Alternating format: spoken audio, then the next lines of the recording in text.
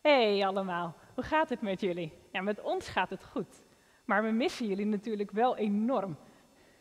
Ja, en daarom hebben wij op vrijdagavond om half acht de Hoogbloklandse Bijbelquiz georganiseerd. We hopen natuurlijk dat jullie allemaal meedoen.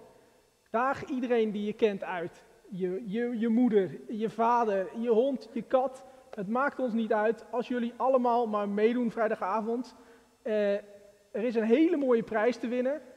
En daarom hopen we dat we jullie antwoorden eh, kunnen zien vrijdagavond om half acht. Tot dan.